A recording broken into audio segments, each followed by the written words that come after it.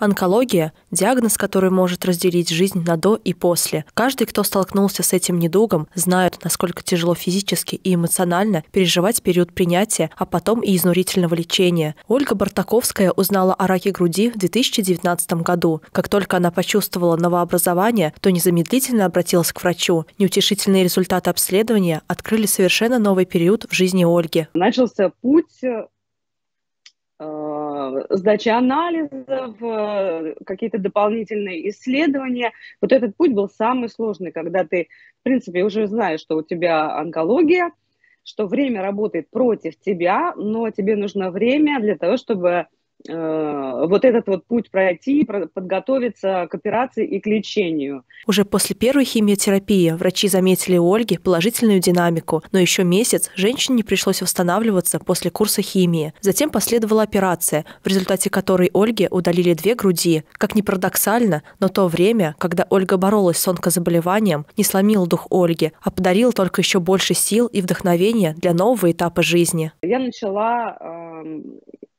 думать вообще, что со мной происходит, что со мной происходит, что я чувствую, почему я это чувствую. И вот этот вот путь, он оказался для меня самым верным, а, когда я начала вот находить какие-то там обиды, с которыми я там жила уже даже 30 лет, 20 лет, и э, стала разбираться в себе, стала э, развиваться в этом направлении, интересоваться. Сейчас Ольга работает консультантом по работе с эмоциями, помогает людям и делится с ними своими личными опытом и знаниями. Прошлое с онкозаболеванием помогло женщине переосмыслить настоящее. Если вы узнали о страшном диагнозе, то Ольга советует не опускать руки, но и не сдерживать эмоции. Дайте себе их пережить и выплеснуть. Включите режим энергосбережения и отнеситесь к себе с вниманием и заботой вникайте в лечение, контролируйте процесс лечения, потому что нам кажется, что там кто-то там нам должен что-то. Никто нам ничего не должен. То есть наше здоровье – это наша ответственность.